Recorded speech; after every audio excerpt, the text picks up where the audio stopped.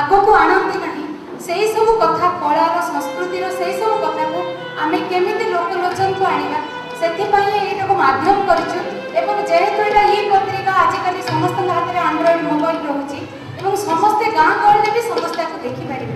ଏହି ଉଦ୍ଦେଶ୍ୟରେ ସମଧ୍ୱନି ପତ୍ରିକା ଯେଉଁ ଆରମ୍ଭ ହେଇଥିଲା ତାର ବି ସେଇ ଲକ୍ଷ୍ୟ ଥିଲା ସାଧାରଣ ଲୋକଙ୍କ କଥା କହିବ ଏବଂ ସେଇ କଥାଟାକୁ ଆମେ ଯେତେବେଳେ ଅଧିକ ଲୋକଙ୍କ ପାଖରେ ପହଞ୍ଚାଇବା ପାଇଁ ଚାହିଁଲୁ ସେତେବେଳେ ଏହି ପତ୍ରିକା ଚିନ୍ତା କଲୁ ଏବଂ ଆର ଆଉ ଗୋଟେ ଦିଗ ରହିଲା ସେଥିରେ ଆମେ ଭିଡ଼ିଓ ବି ଯୋଡ଼ି ପାରିଛୁ। ଲେଖା ସାଙ୍ଗରେ ଭିଡ଼ିଓ ହେଲେ ଅଧିକ ଲୋକ ବୁଝିପାରିବେ। ଯେଉଁମାନେ ପଢ଼ିପାରୁନାହାନ୍ତି ବି ସେମାନେ ଭିଡ଼ିଓଟା ଦେଖିଲେ ବୁଝିପାରିବେ। ସେଥିପାଇଁ ମୁଁ ଆପଣଙ୍କୁ ଗୋଟିଏ ଷ୍ଟୋରି ଗୋଟିଏ କାହାଣୀ ଦେଖେଇବି ଯେଉଁଥିରେ ଆପଣ ବୁଝିବେ ଆମେ କେଉଁ ଲକ୍ଷ୍ୟ ନେଇକି କାମଟା କରୁଛୁ। ପ୍ରଥମ ଯେଉଁ ଧନହଂସର ଜୀବନ କାହାଣୀ ସେ ହେଉଛନ୍ତି ଧନହଂସ ଲୋୟର ଇନ୍ଦ୍ର। ଲୋୟର ଇନ୍ଦ୍ର ଯେଉଁ ବିସ୍ଥାପିତ ସିଏ ଏ, ତୀର୍ଥଟି ଯେଉଁ ଡ୍ୟାମ୍ ହେଉଛି ସେଇ ଡ୍ୟାମ୍ ବିସ୍ଥାପିତ କଳାକାର ଜଣେ ସେ। ତାଙ୍କ ପାଖକୁ ଆମର ଯେଉଁ ସମଦୃଷ୍ଟି ଟିଭିର କ୍ୟାମେରା ଟିମ୍ ଥରେ ଗୋଟେ କାମ ପାଇଁ ଯାଇଥିଲେ ସେତେବେଳେ ତାଙ୍କୁ କଭର କରିଥିଲେ ଏବଂ ଏଇଟା ସମଦୃଷ୍ଟି ଟିଭିର କଣ୍ଟ୍ରିବ୍ୟୁସନ୍ ଆମ ପ୍ରତି। ଉମେଶ ବିଶ୍ୱାଳ ଅମିତାଭ ପାତ୍ର ଏଇ ଯେଉଁ ଭିଡ଼ିଓ ଡକୁମେଣ୍ଟେସନ୍ କରିଛନ୍ତି। ଏଇ କାହାଣୀ ହେଉଛି ସେ ନିଜେ ଦୁଃଖରେ ସେ କହୁଛନ୍ତି ମୁଁ କହିବା ଦରକାର ନାହିଁ। ଲୋକ କଳାକାର ଜଣେ ସେ ଯଦି ତା ଦୁଃଖ କହୁଛି ଯେ ଆମେ ଯୁଆଡ଼େ ବି ଯାଇଛୁ ଆମେ ବିସ୍ଥାପିତ ଲୋକ ଆମକୁ ସରକାର ପଇସା ଦେଲା ଆମେ ଗଲୁ ଯେଉଁ ଗାଁରେ ରହିଲୁ ମୁଁ ଜଣେ ଷାଠିଏଟା ଗାଁର ସେ ଗୁରୁ। ବହୁତ ଗୁଡ଼ାକ କଳାରେ ସେ ହେଉଛନ୍ତି ଗୁରୁ କିନ୍ତୁ ସେ ଯୁଆଡ଼େ ଯାଇଛନ୍ତି ତାଙ୍କୁ ଘୃଣା କରିଛନ୍ତି। ତାଙ୍କୁ ରହିବା ପାଇଁ ଜାଗା ଦେଇନାହାନ୍ତି ତାଙ୍କୁ ଏତେ ମାନେ ତାଙ୍କ ଖାଇବା ଜାଗା ଫୋପାଡ଼ି ଦିଅନ୍ତି ସେ ତାଙ୍କ ଦୁଃଖ କହୁଛନ୍ତି। ଆମେ ତାଙ୍କ ପାଖରୁ ଶୁଣିବା ଯେ ଜଣେ କଳାକାର ଯଦି ଏମିତି ଅପମାନିତ ହେଉଛି ତାହେଲେ ସାଧାରଣ ଲୋକଟା ସେ କେମିତି ଅନ୍ୟ ଗାଁରେ ଯାଇକି ବିସ୍ଥାପିତ ହେଲା ପରେ ପଇସା ନେଇକି ଯେଉଁ ଘର ନେଇକି ରହିବ? ତା ଗାଁରୁ ତାକୁ ତା ସଂସ୍କୃତିରୁ ତାକୁ ବିତାଡ଼ିତ କରାଯାଉଛି ସେଇ କଥାଟା ସେ କାହାଣୀଟା ସେ ତାଙ୍କ ଦୁଃଖରେ କହିଛନ୍ତି। ଆମେ ଦେଖିବା ସେ।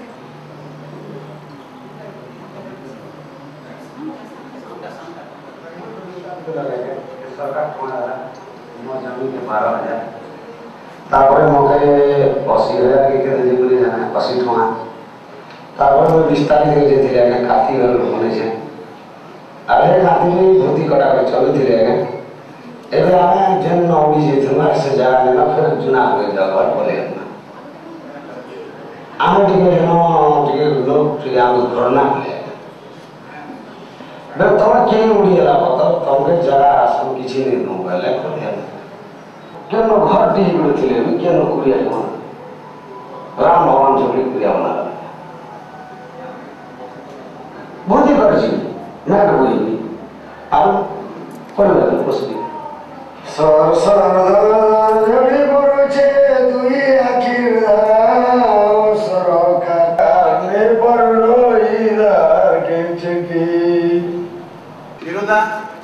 ନଳିନୀକାନ୍ତ ମହାପାତ୍ର ମହୋଦୟ ଦୀର୍ଘ ଚାରି ଦଶନ୍ଧି ଧରି ଆପଣ ଦେଶ ଜନବିଜ୍ଞାନ ଆନ୍ଦୋଳନକୁ ସୁଦୃଢ଼ କରିବା ପାଇଁ ସାଂସ୍କୃତିକ ଜନଜାଗରଣକୁ ଭିତ୍ତି କରି ନିରବିଚ୍ଛିନ୍ନ ଭାବେ କାମ କରି ଆସିଛନ୍ତି ଓଡ଼ିଶା ସମେତ ସମଗ୍ର ଦେଶର ଜନବିଜ୍ଞାନ ଆନ୍ଦୋଳନ ଆପଣଙ୍କ ସୃଜନଶୀଳତାର ମହକ ପାଇଛି। ଯଦିଓ ପଶ୍ଚିମବଙ୍ଗ ରାଜ୍ୟ ଆପଣଙ୍କ ଦ୍ୱାରା ବିଶେଷ ଉପକୃତ ହୋଇଛି। ଆପଣ ଜଣେ ଗାୟକ ଗୀତିକାର ସଙ୍ଗୀତ ନିର୍ଦ୍ଦେଶକ ଭାବେ ନିଜର ଏକ ସ୍ୱତନ୍ତ୍ର ପରିଚୟ ସୃଷ୍ଟି କରିପାରିଛନ୍ତି। ଅର୍ଥନୈତିକ ସଂସ୍କାର ଶିକ୍ଷା ଅନ୍ଧବିଶ୍ୱାସ ସାମ୍ପ୍ରଦାୟିକତା ଉପରେ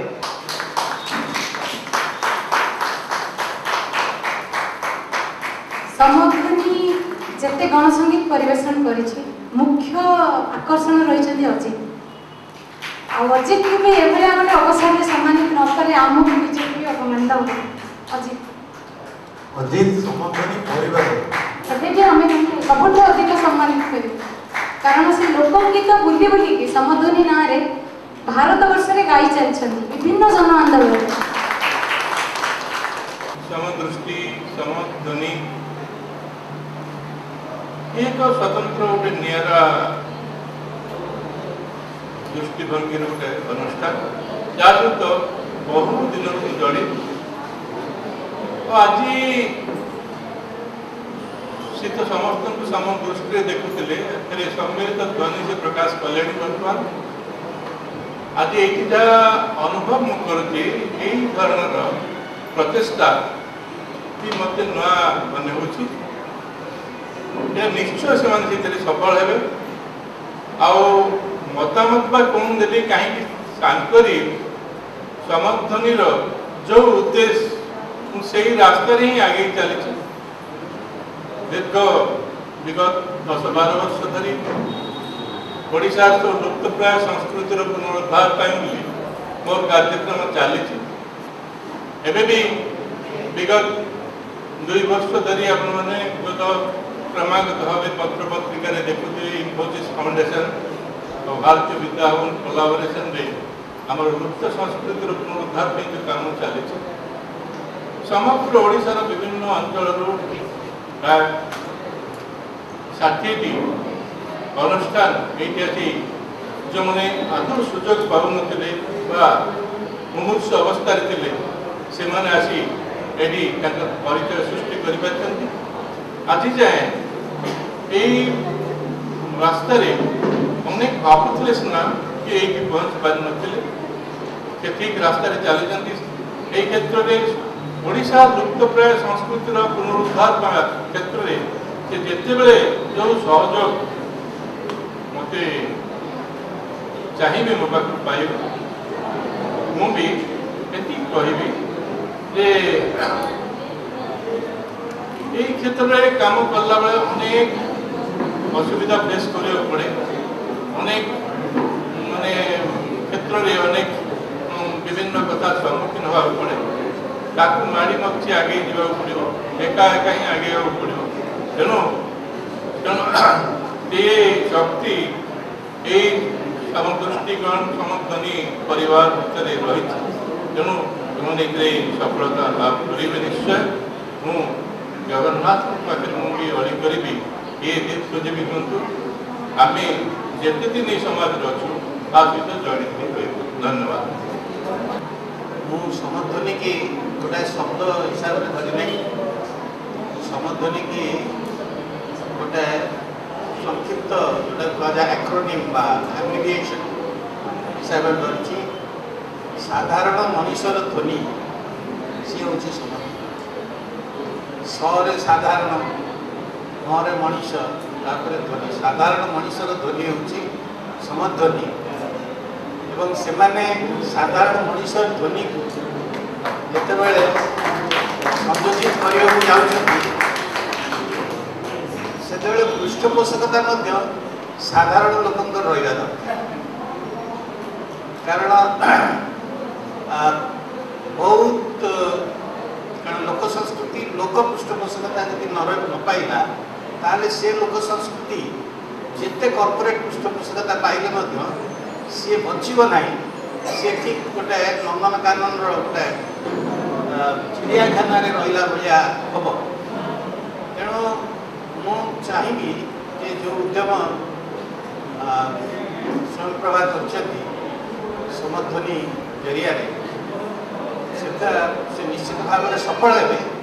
କିନ୍ତୁ ସବୁବେଳେ ଜଗି ରଖିବେ ଯେ ଏଇଭଳି ଉଦ୍ୟମକୁ ଯେମିତି କୌଣସି ଆ, ସେ ତ ତାଙ୍କ ନିଜ ଭିତରେ ବି ବୋଲିଲେ ଆଇନାରେ କାହାର ସବୁବେଳେ ସକାଳ ଅଛି କାହା ଆକାଶରେ ସୂର୍ଯ୍ୟ ଅଛି ଆଉ କାହାର ଜମା ସକାଳ ହଉନି ତେଣୁ ମୁଁ ଭାବିବି ଯେଉଁମାନଙ୍କର ସକାଳ ହଉନି ତାଙ୍କ ଉପରେ ଆଲୋକ ଦେବେ ତାଙ୍କୁ ଆଲୋକକୁ ଆଣିବେ ଆଉ ଯେଉଁମାନଙ୍କର ଆକାଶରେ ସବୁବେଳେ ସୂର୍ଯ୍ୟ ଅଛି ତାଙ୍କ ପାଖରେ ସରେଣ୍ଡର ଶରଣ ଦେବେ ନାହିଁ ତାଙ୍କର ଶରଣାଗତ ହେବେ ନାହିଁ ଏତିକି କହି ମୁଁ ପୁଣି ଥରେ ଏ ଉଦ୍ୟମର ଉଦ୍ୟମର କ'ଣ କହିବି ଯେ ଉତ୍ତରୋତ୍ତର କାମନା କରିବି ସମସ୍ତଙ୍କ ଧ୍ୱନି ଗୋଟେ ରହୁଛି ଆଗ ପଢ଼ା ହେଇଛି ବହୁତ ଭଲ କଥା ମୁଁ ଭାବୁଛି ତାର କିଛି ପ୍ରଭାବ ସେଇ ଶ୍ରେଣୀ ଉପରେ ପଡ଼ିବ ଯେଉଁଥିରେ ସେମାନେ ଗୋଟେ ପାଠ ପାଇବେ ନିଜେ କେମିତି ମୁକ୍ତି ର ପାଠ ପାଇବେ ନହେଲେ ଆମେମାନେ ଯେଉଁଟା ତମେ କହିଲ ଆମେ ମଝିରେ ଅଛୁ ମଝିରେ ଅଛୁ ଆମେମାନେ ମାନେ ଯେଉଁଟା କୁହନ୍ତି ଗରମ ପାଣିରେ କେବେ ଘର ପଡ଼େ ନାହିଁ ମାନେ କେଉଁ ବଡ଼ ବଡ଼ କଥା ଶ୍ରେଣୀ ସେଇ ଲୋକ ଯାହା କିଛି। ଧନ୍ୟବାଦ ସଭା ଆରମ୍ଭ ହେବା ପୂର୍ବରୁ ଜଣେ ବନ୍ଧୁ କହିଲେ ଯେ କ'ଣ ଏଇଟା ଆପଣମାନେ ପୁଣି ଗୋଟେ କ'ଣ ଆରମ୍ଭ କଲେ କି ସମଦୃଷ୍ଟି ତ ଥିଲା ମୁଁ କହିଲି ନାଇଁ ସମଦୃଷ୍ଟି ଅଲଗା ସମଧ୍ୱନି ଅଲଗା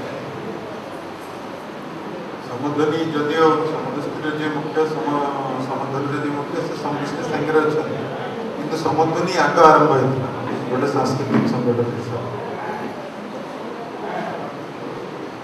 ଯେତେବେଳେ ଆଜି ସଂଘ ପରିବାରକୁ ସାମ୍ନା କରୁଛେ ଭାରତୀୟ ଜନତା ପାର୍ଟି ନାଁରେ ଆମେ ଭୁଲି ଯାଉଛେ ଯେ ତାଙ୍କର ପାଖାପାଖି ପଚାଶଟା ସଂଗଠନ ଅଛି ଗଣ ସଂଗଠନ ଯେଉଁମାନେ କି ଚବିଶ ଘଣ୍ଟା କାମ କରୁଛନ୍ତି। ଏଇ ଦେଶରେ ଆଉ କୌଣସି ରାଜନୈତିକ ଦଳ ରାଜନୈତିକ ଦଳର ଏତେ ଗଣ ସଂଗଠନ ନାହିଁ। କିନ୍ତୁ ଯଦି ଗୋଟିଏ ସଂଗଠନ ସାଙ୍ଗରେ ଆଉ ଗୋଟେ ସଂଗଠନ ଆସିକି ଜନ୍ମ ନେଇଗଲା ମୁଁ ଭାବୁଛି ଇଏ କ'ଣ ତାଙ୍କର କି ସିଏ ଆଙ୍କର କି ଏମାନେ ଏକାଠି ଅଛନ୍ତି ଏଇଭଳି ଗୋଟେ ଆଶଙ୍କା ଆମ ମନ ଭିତରେ ଆସୁଛି ମୁଁ କହିବି ଯେ ଆମେ ଯେତିକି ପାରୁଛେ ସଂଗଠନ ତିଆରି କରିବା ବର୍ତ୍ତମାନ ଅ, ଜରୁରୀ ହେଉଛି କାହିଁକିନା ଯେଉଁ କ୍ଷେତ୍ରଟା ଆମେ ଅବହେଳା କରୁଛେ ଓଡ଼ିଶାରେ ସବୁ ପ୍ରଗତିଶୀଳ ରାଜନୈତିକ ଦଳମାନେ ବି ଅବହେଳା କରୁଛନ୍ତି ସେଇଟା ହେଲା ସାଂସ୍କୃତିକ ସଂଗଠନ ଆଉ ଜନବିଜ୍ଞାନ ସଂଗଠନ এই ଦୁଇଟା ସଂଗଠନ ଓଡ଼ିଶାରେ ହଉ ବା ଭାରତବର୍ଷରେ ହଉ ଅଧିକାଂଶ ରାଜନୈତିକ ଦଳ ପାଖରେ ନାହିଁ ସଙ୍ଗୀତର ଉଦ୍ଦେଶ୍ୟ ହେବା ଦରକାର ବାର୍ତ୍ତାଟା ଦେବ ସେଇ ସାଧାରଣ ମଣିଷର ସ୍ୱରଟାକୁ ସମସ୍ତଙ୍କ ଆଗରେ ଉପସ୍ଥାପନ କରିବ ତାର ବେଦନାଟାକୁ ତାର ଯନ୍ତ୍ରଣାଟାକୁ ତାର ଯାତନାକୁ ଯେଉଁଟା ସହଜରେ ସାମ୍ନାକୁ ଆସୁନାହିଁ ତାକୁ ସାମ୍ନାକୁ ଆଣିବା କାମଟା କରାଯିବା ଦରକାର ଫର୍ମାଟ ବା ଢାଞ୍ଚାଟା ଯାହା